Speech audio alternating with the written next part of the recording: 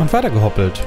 Im, naja, mitten im, im Soundtrack von äh, Elder Scrolls Online. Wir stehen zusammen mit Basti immer noch hier irgendwie auf so einem leichten Hügel, wo ein Wegpunkt ist. Und mir ist ein Problem aufgefallen. Wir müssen wieder zurück, weil, wie oben gut in Ecke zu lesen ist, müssen wir noch mit Kommandant Axios darüber reden, dass er mit bei unserer großen Mission machen soll. Irgendwie ist es... Naja, es ist irgendwie vorbeigegangen an mir, dass ich das mit ihm nochmal extra reden muss. Vielleicht hat mich auch ein bisschen irritiert, dass er jedes Mal aufs Neue sagt, dass man, äh, dass, dass er sich freut mit, dass er, dass er mir gerne helfen würde und dass irgendwie der richtige Spruch kam nicht. Ich habe heute übrigens ein, etwas ein Novum bei, ein bisschen ein Oldum. Und zwar, ich habe neben mir einen Tee stehen. Ich hatte früher immer zu meinen Skyrim-Streams, mit denen damals alles angefangen hat, hatte ich immer Tee, eine ganze große Kanne bei und immer Zeug und, naja, waren damals andere Zeiten. Damals habe ich vier Stunden am Stück gestreamt und habe dann im Nachhinein irgendwie versucht, das, das, das sinnvoll auseinanderzuschneiden. Das meiste davon ist mittlerweile auch nicht mehr online auffindbar. So ohne weiteres. Aber ja, so war das damals. Uh, ja, auch diesmal habe ich meinen Tee gemacht. Übrigens, zweite Erkenntnis, ich kann meine ich kann mein, mein Aufnahmeprogramm, was ich für, für ISO benutze, DxTory, kann ich nicht sagen, dass es mit F23 anfangen soll aufzunehmen. Das ist extrem ärgerlich. Hallo, Kommandant Axios. Söldnerin? Wir werden bald losmarschieren, um Grenzburg zurückzuerobern. Oder seid ihr aus einem anderen Grund zurückgekehrt? Naja, wenn ihr sowieso schon mobil gemacht seid, äh, Jungs, ähm, ich bräuchte Hilfe. Verrückte Kultisten? Die Rückeroberung unserer Garnison kann warten. Die Brigadisten von Grenzburg werden euch beistehen. Ich revanchiere mich immer gern für Gefallen. Ich werde alle mobilisieren, die ich erübrigen kann. Und euch an der Feste Rotmähne treffen. Wir kämpfen gemeinsam gegen diese Kultisten. Vielen Dank doch dafür. Nichts zu danken. Berichte über Ratsherr Vandasias Bosheit sind bereits zu mir vorgedrungen. Toll. Von daher habe ich eine Ahnung, wogegen wir bestehen müssen. Ich freue mich, euch dabei zu unterstützen, diesem dädrischen Kult ein Ende zu machen. Wir werden euch an der Feste Rotmähne treffen. Ja, ja, vielen Dank und besten Dank dafür. So, gut, dann haben wir jetzt hier drei Fraktionen zusammen. Ich glaube nicht, dass es irgendwas ändert. Obwohl, es könnte ändern, wie viele Ambitionen man am Ende retten kann. Äh, je nachdem, wie viele Lektion, äh, Legionen man hat. Weil ich würde mal stark vermuten, dass die... Oh, das ist ein großer Bär. Ist für den Ex ist die großer Bär. Ich würde vermuten, dass, dass so viele Ambitionen sterben, wie... Äh, beziehungsweise, dass sie sowieso ihre besondere Macht verlieren mit den Zinsen von äh, Merunus Dagon das, ähm, entweder das funktioniert gar nicht so oder das, das am Ende kommt es halt anders. Mir fällt jetzt irgendwie ein, warum diese Brücken so komisch aussehen mit diesem Gehsteig. Das sind die Stadtbrücken, ne? Die sind, genau die Brücke findest du so einer Stadt. Wir haben das gleiche Model einfach wiederverwendet, was eigentlich sehr arm ist, weil es halt, es hat sie halt kaum was gekostet, nochmal genau das gleiche Model nur mit einer anderen Textur zu machen. So, unabhängig davon sind wir noch nicht auf dem Weg zu Hauptmann rein. Ja, sondern, wir, das glaube ich, hiervon ist sogar die Festung Rotmeer, ne? Also hier wird dann hinter die große Stadt, äh, Schlacht stattfinden. Wir können uns das Ganze ja schon mal auf Münzbox reingucken. Ne, ich komme echt nicht rein. Ah doch, hier ist einer. Okay, alle Leute sind hier. Kann ich hier schon mit irgendjemandem reden? Guck mal hier, die, die Dings sind auch schon alle. Ja, warte mal, aber das ist aber eigentlich relativ egal. Utumira, Merta, Elossi, die plötzliche Böe. Es sind alle da. Evil, die ist auch da. Aber wir haben Hauptmann rein noch nicht beschäftigt. Okay, gut. Also hier müssen wir erstmal fürs Erste noch nicht hin. Es gibt nämlich noch andere Orte, zu welchen laufen. Wir müssen zum Beispiel noch Miri holen. Ich frage mich übrigens ernsthaft, wie man hätte über Miri fallen sollen, wenn man nicht die, wenn man da nicht hingeritten ist. Weil das ist die eine Ecke, wo ich die ganze Zeit darauf gewartet habe, dass wir da irgendwann nochmal hinkommen und das bis heute nicht passiert ist, ne? Ich hätte mal vor einer, vor drei Quests gucken müssen, wie es aussieht. Die haben übrigens den Schrein von Nocturnal entdeckt. What? Wie, der Schrein von Nocturnal? Cool. Fürstin Nocturnal, ich flehe euch an. Undankbares Kind, erduldet die Folgen eures Scheiterns mit Würde. Aha. Sterbliche, ich befehle euch, mit mir zu sprechen. Cool. Äh, wer ist sie? Die Qual, die mich erwartet, ist eine Würde, die ich schultern muss. Wenn meine Fürstin mir gegenüber doch nur Gnade zeigen würde. Das ist übrigens überhaupt nicht die Quest, auf die ich eigentlich aus war. Aber ich sag mal so, dass ich bin über jede Nebenquest, die vielleicht irgendwo noch mal ein bisschen Worldbuilding betreibt oder die mich dazu bringt, um was zu erzählen, äh, freue ich mich sehr. Ich mag Geschichten. Das machen wir das ja alles, ne? Na gut, Nocturnal möchten wir sprechen, mal wieder. Hatten wir, hatte das, das, das Gefäß bereits eine Begegnung mit Nocturnal? Ich glaube nicht, oder? Das irritiert mich mal so ein bisschen. Warum ist das eine Ex an den Füßen? Ist das Kanon? Ich meine, die Raben wahrscheinlich eher, oder? Hallo, Nocturna, ich grüße dich. Möge die Finsternis euch und den Boden, auf dem ihr wandelt, verfluchen, Sterbliche. Hallo. Wäre ich nicht durch diese erbärmliche Kreatur, die meine Akolytin sein will, abgelenkt, würde ich euch in Stücke reißen. Der Tetra-Anbieter kann ziemlich hart sein, wenn man es nicht, äh, nicht, nicht schafft, es in den guten Willen zu, zu erobern, nicht wahr? Na gut, was ist denn mit deiner Akolytin? Ja, ein treuloser Schwächling namens Melona Brolus. Als Diebe kamen, um sich meinen Besitz zu nehmen, sprach sie mit ihnen wie mit Freunden und bat sie aufzuhören. Als ob ihnen das Einhalt gebieten würde. Äh, ähm, ja, genau, was ist jetzt weg? Ich meine, eine Statue ist offensichtlich noch da. Eigentlich eine ganz schöne Statue. Die Schattensichel. Ein mächtiges Instrument meines Willens. Wegen ihrer Unfähigkeit, sie zu beschützen, wird Milona nie wieder schlafen. Ich frage mich, wie lange sie durchhalten kann. Vielleicht habt ihr den Mut, meine Sichel zurückzubringen? Mit ihr könntet ihr großartige Belohnungen ernten. Sie wird nie wieder schlafen? Das ist, ist das liegt in Noctura als Möglichkeit. Na gut, das, wenn du dich halt den Täter hingibst, dann können sie ja, äh, dann können sie ja Dinge tun, ne? Ich, ich frage mich halt immer wieder, inwiefern man, wenn man sich erstmal einmal, wenn man sich einmal hingegeben hat, inwiefern man die Macht der Detra wegbrutforcen kann. Also wenn du halt jetzt ich nehme ihn immer gerne als Beispiel, weil er irgendwie der mächtigste Magier ist, den ich kenne. Wenn du jetzt zu David Für hingehst und der aus irgendwelchen Gründen willens ist, ob der was machen könnte für dich. Oder ob dadurch, dass du dich halt tatsächlich wirklich dem D3 hingegeben hast und damit quasi das, den Weg eröffnet hast, du an sich erstmal das, die ganzen, den ganzen Schutz, den dir normal als Sterbliche zur Verfügung steht, dass das einfach weg ist. Weißt du? Na gut, ich finde das Ding bestimmt. Ich werde es bezeugen. Enttäuscht mich nicht. Nun sprecht mit meiner Akolytin und findet die feigen Narren, die es gewagt haben, mich zu bestehlen. Ähm, ja, ähm, wie kann man das wirklich, das wirklich, wie kann wirklich oh, das ist Dedra anzweifeln, dass sie es wirklich sind, das ist schon geil. Hatten wir mit Nocturna? Ich überlege gerade, wer war denn, wer war denn unser L2-Boss in, in, in, in, in, in Dings?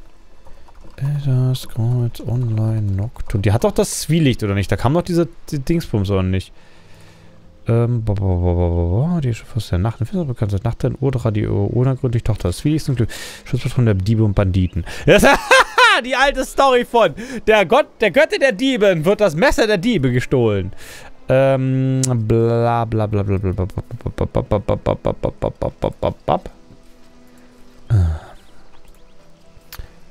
mein Browser, den ich hier irgendwie standardmäßig beim Aufnehmen offen habe, äh, der nicht Firefox, sondern Vivaldi benutzt Startpage als Suchdingsbums. Ähm, Nocturnal Online. Ist der Main Antagonist of Elder Scrolls Online Somerset. Also sie müsste, also wir hatten bereits eine Begegnung mit Nocturnal. Haben wir sie nicht sogar im Zweikampf noch besiegt? Na gut, äh, wer bist, wer bist überhaupt die echte? Eure Zweifel zeichnen euch aus, Sterbliche. Doch in eurem Herzen kennt ihr die Wahrheit. Euer Schatten wird lang und dunkel. Die Schemen von Immergrau tanzen am Rand eures Sichtfelds. Ich bin Urdra. Ich bin Nocturnal. Ja, oder eine sehr begabte Illusion. Also ich glaube das ja nicht. Ich habe schon einmal gegen gegenübergestellt, obwohl das nicht nur ein weiteres Komplott ist. Das ist natürlich immer ein weiteres Komplott. Wir reden hier über Dedra, meine Güte. Ein kleinlicher Streit. Ich bin ewig, Sterbliche. Meint ihr, ich sehe in eurer Impertinenz irgendetwas anderes als ein Flackern der Kerzenflamme der Zeit? Meine Sichel wurde gestohlen. Ich will sie zurück. Das ist alles. Sind Dedra eigentlich, also selbst die großen Dedra, ich meine, das ist ziemlich, wird ziemlich oft festgestellt, dass zum Beispiel die Edra, die auch mal gerne als, als Götter bezeichnet werden, dass die nicht wirklich göttlich sind. Weil das, das, das große Ding ja an dieser, an so, an so Göttern, was immer wieder hervorgehoben wird, ist halt diese Omnipotenz. Beziehungsweise, wenn es nicht zumindest die Omnipotenz ist, dann zumindest die Omnipräsenz. Weil das halt das für Menschen, glaube ich, schwer vorstellbar ist, dass, dass, dass ein Bewusstsein an mehreren Orten gleichzeitig gleichersam interagiert und alle miteinander verbunden sind, weil Menschen in ihrer Vorstellung schon ziemlich singulär an einem Ort sind, ne? Oder wenn dann nur ganz schnell hin und her switcht und dieses Gefühl, dass man an mehreren Orten, also so Vergleich verteilt ist, das ist halt doch irgendwie schon schwierig. Na gut, wie kann ich euch trauen? Ja, das ist, ähm, ja, ja. Vertraut mir oder zweifelt an mir. Für mich macht das keinen großen Unterschied. Ich sehe über eure früheren Übertretungen und Fehltritte hinweg, Sterbliche. Wenn belangloser Groll euch davon abhalten soll, meinen Segen zu ernten, dann soll das ebenso sein. Ähm, Ja, gut. Tschüss. ich wette, Nocturna wäre trotzdem sauer. Weil, also gehen wir mal davon aus, Nocturna ist omnipräsent. Oder zumindest multipräsent. Wir gehen mal nicht davon aus, dass, das immer, dass er nur, vielleicht in immer grau ist er vielleicht wirklich omnipräsent, aber in Dingsbums in, in, in, in, in gehört der Nikola, gehört die Eidechse dazu? Hm. War nicht ganz schönes Gewand. Ähm, der Rabe auf jeden Fall macht wahrscheinlich mit, oder? Ah, hier ist noch einer. Schön. Wie bei einem Statue. Prächtig. Das sind sogar drei. Oh. Oh, vier. Na gut, wahrscheinlich einige mehr. Ähm, denn, denn ist jetzt die Frage, was machten, was, was würden die machen, wenn hier auf einmal Bevölkerung, Bevölkerungsexplosion ist und das ganze Land, was wir hier sehen, ist einfach mal wesentlich dichter besiegelt und es gibt auf einmal tausende Daedra-Anbieter. Kann sie, Anbieter, kann sie denen allen gleichzeitig dienen oder ist irgendwann ihre Kapazität überladen? Also, wie weit geht denn die Macht von, von, von so einem Daedra? Also, wie, äh, sind die wirklich ultra multipräsent? Also, die kriegen jedes also dann wieder omnipräsent. Die kriegen wirklich jedes, jeden Diebstahl ihres Tempels mit und so weiter und so fort in dieses Gebiet. Oder eher nicht. Und das, man kann die tatsächlich überlasten. Weil es wäre eine Schwäche, an der man ansetzen kann. Hallo, Milona Bolus. Wenn ich nur eifrig genug Buße tue, wird Nocturnal vielleicht Gnade zeigen. Ja, das Ding ist, Dedra sind, äh, soweit ich das beurteilen kann, faul. In, eigentlich irgendwie immer. Obwohl Nocturna ist tatsächlich noch eine von den ich sag mal, du opferst selten Leute im Blut, ne? Also das kommt zwar vor, aber wenn ich hier an Mephala denke, oder, oder halt das hier äh, Merunus Dagon oder äh, Molak Baal, da, da, da bist du wesentlich öfter beschäftigt, irgendwelche Leichen auszubuddeln, Leichen zu verbuddeln und Leute zu entführen, die du halt auf dem Opferaltar rüberschleifst. Mit Nocturna ist es, glaube ich, alles immer ein bisschen, ich sag mal, zurückhaltender, ne? Na gut, ähm, so, was ist denn jetzt mit der Schattenseele? Ich war hier und ehrte die Herren, wie ich es jeden Abend tue, als Giovanni und Darene, ein paar Leute aus Leawin, die ich schon seit unseren Kindertagen kannte, aus den Schatten traten. Sie nahmen das Relikt meiner Fürstin. Ich versuchte sie aufzuhalten, aber ich... Ich konnte es einfach nicht. Ähm, welchen Sinn genau verfolgt sie beim Dedra anbieten, wenn es nicht Macht ist? Weil offensichtlich hat sie keine. Sonst hätte sie ja was machen können. Das ist ja immer das Ding, dass du halt so Dedra anbietest, weil du halt irgendwie was von ihnen willst. Und die in der Regel geben die ja auch was. Also, zumindest in Skyrim kriegst du halt am Ende immer irgendeinen Ausrüstungsgegenstand. Ich erinnere mich noch sehr gut an das gute Schild von Meridia. Ja, warte, Meridia gibt ein Speer, äh, Schwert. Wie immer eigentlich. Wir hatten das Schild gegeben. Man möge mich daran erinnern, was genau das war. Irgendjemand hat ein Schild gegeben, der andere hat ein Schwert gegeben, diese Sonnenbrecher. Und ich glaube, das war Meridias Schwert, ne? Ja, das Schild war auch cool, den Zauberbrecher. Was, der Zauberbrecher? Wie ist denn das Ding? Das Ding, was, was Magie abwehren konnte. Ich dachte, das hat auch Meridia rausgerückt. Aber ich könnte, aber das könnte auch von der, nee, Azura gibt ja auf jeden Fall diesen dummen Stern, den gibt sie immer. Ja, spielt auch keine Rolle. Na gut, und wo ist das Ding jetzt hin? Nein. Darene hielt mir ein Schwert an die Kehle. Ich hatte sie noch nie so verzweifelt gesehen. Ich weiß nicht, was aus der Sichel wurde, aber Giovanni hat ein Zimmer in Leawin. Um die Ecke von der Bank. Er könnte noch immer dort sein. Na gut, und was mache ich dann, wenn ich den Typen finde? Sie meinten, sie würden sich treffen, nachdem sie die Sichel Tuma Maxat überbracht haben. Vielleicht könntet ihr Giovanni zu diesem Treffen folgen? Tuma Maxat ist ein mächtiger Nekromant. Meine Freunde stecken in größeren Schwierigkeiten als ich. Bitte helft ihnen. Ich werde euch bezahlen. Ja, weil Nekromanten brauchen meistens Tote, um was zu machen, ne? Na gut, ich finde mal Giovanni. Wenn ihr Giovanni in Leawin finden könnt, folgt ihm zu seinem Treffen mit Darene. Und ich weiß, das ist viel verlangt, aber könntet ihr versuchen, sie dazu zu bringen, das alles hinter sich zu lassen? Die Diebstähle und die Verschwörungen? Das ist es nicht wert. Ich will einfach, dass sie sicher sind. Das ist, das ist, ich weiß ja nicht, das ist halt irgendwie, also die Anbieterin hat sie jetzt, ist sie jetzt nicht gerade so, so zwei von zehn, ne? Das, das ist, also, wenn ich schon die anbiete, dann wär's richtig und nicht so. Ist das, ist das was Nocturnal ihren, ihren, ihren Jüngern anbietet? Ich meine, das, die klingt jetzt hier wie so eine Wicca, die halt irgendwie angefangen hat, hier irgendwie die alten Bräuche zu machen und jetzt immer steht die Hexe auf. Oder was auch immer die anbieten. Ähm, weißt du? Und die ist jetzt irgendwie total überrascht, dass hier Nocturna immer sagt, ja, warte mal, jetzt ähm, will ich aber auch mal Leistung sehen. Aber da hättest du halt vorher was einfordern müssen. Na gut. Na gut, ähm, die, die, kennst du also?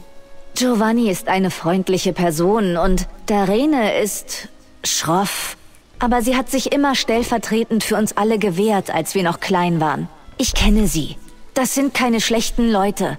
Und wenn ich mit Tuma Maxat recht habe, hat niemand das Schicksal verdient, das sie erwartet. Tuma Maxat. Hieß die lustige Nekromantin nicht? Die, die Eiszauberin? Nicht auch was Maxa? Irgendwas? Ah, nee, die hieß, glaube ich, nur Maxa, ne? Na, warte mal, nee, das ist, ist zu lange her. Das steht hier nicht in diesem Notizbuch. Ah, ne. Ich müsste eigentlich viel mehr Tagebuch führen über sowas, ne? Also ich, ich bräuchte eigentlich sowas, ich bräuchte so ein voll integriertes, ich müsste ja eigentlich auf ein Tablet schreiben und immer gleich so eine Namensliste führen, so Zeug, wo ich dann immer alles genau vorrätig habe, wer wann ist, dass ich mich hier, dass ich hier quasi perfekt vorbereitet bin. Habe ich aber nicht. Stattdessen habe ich euch, liebe Zuschauer, die mir in den Kommentaren Dinge erzählen. Na gut, wer zur Hölle ist Thomas Max Hart? Früher kam er einmal alle zwei Wochen in den Schrein. Er sagte immer, er würde nur seinen Respekt erweisen. Ich ahnte nicht, was er vorhatte, wozu er imstande war. Ich bin mir nicht sicher, was geschehen wird, wenn er die Macht der Sichel mit seiner Nekromantie zusammenbringt. Ja, ja, sicherlich. Was soll sie noch zu sagen? Wenn ihr Giovanni in Leerwin finden könnt. Okay, gut, ja, tatsächlich gar keine neuen Sprüche. Aber kann ich nochmal zu Nocturno gehen? Ich meine, an sich ist es ja nur ein Schrein. Okay, jetzt da vorne ist eine Eidechse und jede Menge Raben. Oh, ich kann nicht mal mit Nocturno sprechen. Das ist ja eine Überraschung, dass die dann ja mal quatschen. Ähm, ja. Okay, dann reiten wir mal nach Leerwin. Das ist übrigens interessant, dass das jetzt das x-te Mal, dass irgendjemand äh, wichtige magische Artefakte steht und dann für... Äh, Gerade Nekromantie scheint mir sehr universell zu sein als Magie. Es ist, viele Sachen brauchen halt irgendwie äh, Einstimmungskristalle, haben wir ganz oft. Da gibt es irgendwelche... Äh, ich erinnere mich noch, dass wir hatten diese Mikro, Mikrorunen hatten wir zwischendurch mal, was ja richtig schön Magie-Hightech war. Nur doof, dass sie die archäologisch ausgegraben haben und das Zeug selber nicht mehr herstellen können. Die sind schon wieder Oger. Ähm, die Mikrorunen waren immer sehr spannend und halt das, das dass du halt mit Nekromantie kannst du anscheinend mit jedem diätischen Artefakt, das du irgendwie auftreiben kannst, aufladen. Nicht so, heißt übrigens Giovanni Corvus. Corvus, wie der Rabe. Das, das Wappentier von... Was ist das hier für Nöte? Seewicht. Da gibt ja einen schweren Sack. Ist was drin? Rupediterz. Ja, nee, danke. Siehst du, da wäre der, in der Stadt wäre direkt ein Händler. Mit dem könnte ich eigentlich kurz quatschen und mein Zeug ablegen. Das wäre eigentlich auch mal ganz günstig, ne? Zurück zum Thema. Auf jeden Fall können anscheinend Nekromanten ihre Magie, wie auch Maxa. Wie ist sie denn? Sie ist auch was mit Maxa, glaube ich. Das ist äh, die, die, die Frostzauberin aus, aus Greymore, die, die sich dann die eine Gouverneurstochter verliebt hatte, die dann irgendwie als Schneeprinzessin durch die Gegend laufen muss. Auf jeden Fall, das geht immer. Du kannst das, äh, Nekromantie kannst du mit alles irgendwie betreiben. Du nimmst irgendeinen magischen Gegenstand daher und dann läuft das. Aber das heißt aber auch, dass du die Macht der Dedra auf jeden Fall entgegenwirken kannst, ne? Die sind halt nur sehr, sehr, sehr mächtig. Aber das, das bestärkt mich ja nicht in den Glauben, wenn das, das prinzipiell ist das ja alles der gleiche Saft, so wie es aussieht. Ne? Die scheint ja, Magie scheint ja interoperabel zu sein. Wenn man das so sagen kann. Machen abgesehen, dass sich in der Regel Magie nicht in solchen, ich sag mal, logischen Maßstäben fortbewegt. Das ist ja mal ein bisschen die große Unterscheidung, dass ich rede öfter darüber. Du hast auf der einen Seite hast du hier diese Dodge R. Martin Magie, die halt irgendwie bestenfalls unkontrollierbar ist und welche Dinge tut und so richtig. Und manchmal tut sie halt Sachen, die du ausnutzen kannst und die sind ganz praktisch. Und dann hast du da halt, oder du hast halt so eine Sanderson-Magie, die quasi Physik durch Wollen ist und auch sehr vorhersehbar funktioniert und auch genau so, wie du dir das wünschst. So, na gut, unabhängig davon, das sage ich mir gerne, unabhängig davon. Fredesa Censorius? Diese erwachende Flamme. Ich habe gehört, Sie planen einen Angriff auf Gideon. Ach, bestimmt mal. Warum denn das? Adele mit Gideon der ich auch schon geredet. Hey, Magier, könnte ich dir was machen. Werde ich nicht tun. Zumindest nicht jetzt. Aber würde sie anbieten. Wo ist denn der gute Giovanni? Na gut, da vorne ist er. Dann quatschen wir mit ihm und dann sehen wir uns beim nächsten Mal wieder. Mach's gut, bis dann. Ich